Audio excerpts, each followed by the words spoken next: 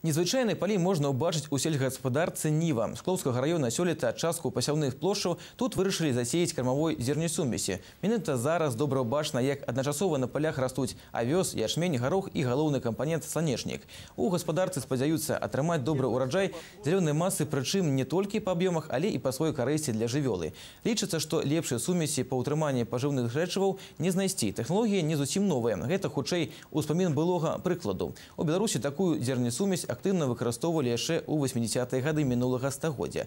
З распадам Савецкага Саюза прывозіць насення сланечніка з Расіі і Украіны было невыгадна і абыходзіцца сталі звычайнымі кармавымі культурамі. Узгадаць пройдзенае ў Ніве вырашылі пасля мінулага года. Неўраджай кармоў і калі будзе даказана эфектыўнасць зернявую сумесь са сланечнікам, тут пасеяць і ў наступным годзе.